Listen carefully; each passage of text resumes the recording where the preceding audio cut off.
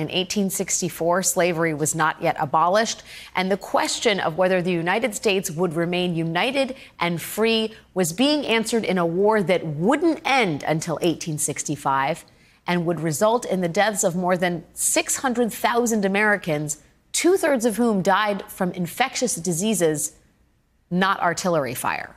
And that's because in the 1860s, doctors were still figuring out what germs were. It was not yet common practice for doctors to wash their hands before surgery or when delivering a baby. 1864 was before doctors knew how reproduction worked on a cellular level, you know, with the eggs and the sperm.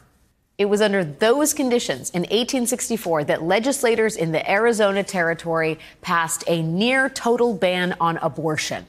Today, Arizona's Supreme Court upheld that 160 year old law.